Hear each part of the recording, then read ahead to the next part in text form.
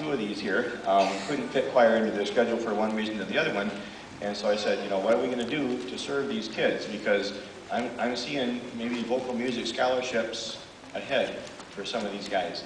And I said, you know, for them to not have access to me, access to anything from the school to uh, develop their voice is absolutely unacceptable. And so um, we've, I've created the time in the morning uh, for them. And so I appreciate each of these guys, as proud as can be of them. And this is our first performance, so we're a little bit nervy, so that's okay.